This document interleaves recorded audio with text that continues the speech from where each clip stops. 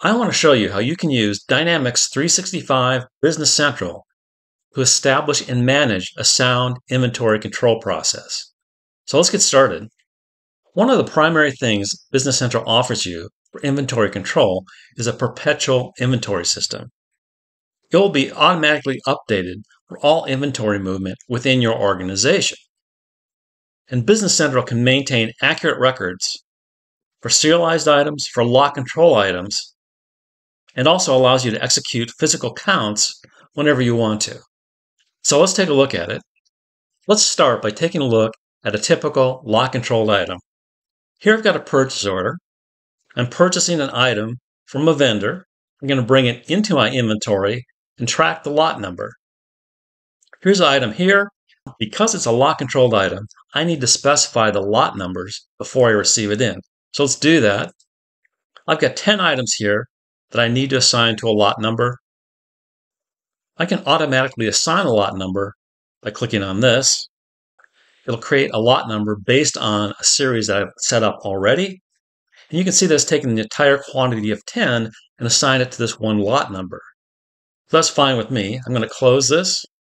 Then I'm going to receive this into my warehouse location. Let's go to post. And now I've received it in. So let's create a sales order for that same item and select the lot numbers we want to ship out to our customer. I've got a sales order started here. You can see it's for the lot controlled item and I have a quantity of four. I need to assign the lot numbers for this particular order before it's shipped out of my warehouse. I can look up the lot numbers here. I'm going to select this new lot for the entire shipment. And now I'm done with this. I'm going to ship it and invoice it out to the customer. And this is the lot number information list. It shows me information on all the lots I have within my system. You can see this new lot we just added down here. It's gone through a quick quality control test and passed as good. You can see that here.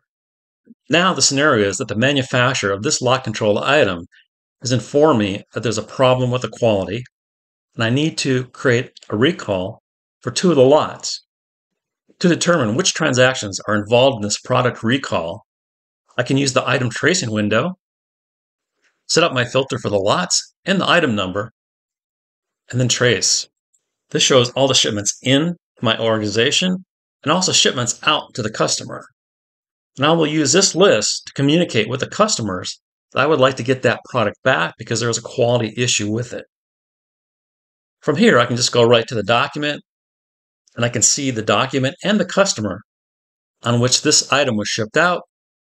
I can also download this to Excel if that makes it easier. And here's the information in Excel. I can easily take this, inform my customers of the quality issue, and get that resolved with them. So here I showed you a lot controlled item.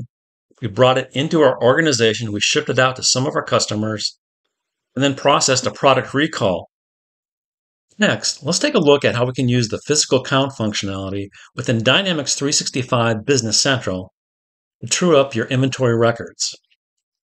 What I want to do is I want to start with a physical inventory order.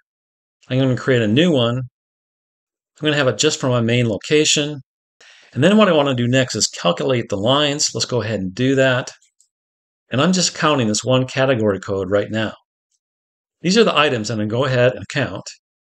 And to get started, I want to create a recording. And what a recording does is allow you to record the actual quantity of inventory counts that are then rolled up to this inventory order. I can have multiple recordings, but let's just use one today. Here's my recording here. It's an open status. Let's open it up. These are the items I'm going to count. I'm going to go ahead and enter the quantities that I count right here. Let's go ahead and do that. So I've gone ahead and counted all the items for this particular order. So I'm done with this. I'm done with the recording. So I'm going to hit finish. So I'm back to the physical inventory order here. I can go ahead and close this and finish this up. If I scroll over to the right, it'll show me the quantity differences. If I want to, I can reopen this, make any changes, and then go back and close it again. but I'm ready to go. I'm going to accept these changes. I'll go ahead and post this.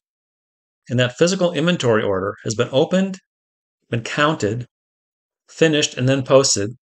It's now historical. In this demonstration today, we looked at the need to have a perpetual inventory system similar to what's available in Dynamics 365 Business Central.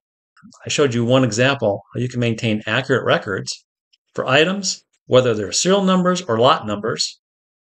I also showed you a way to execute a product recall, and then we looked at physical counts by opening up a physical order, recording the actuals, and then finalizing that and posting it.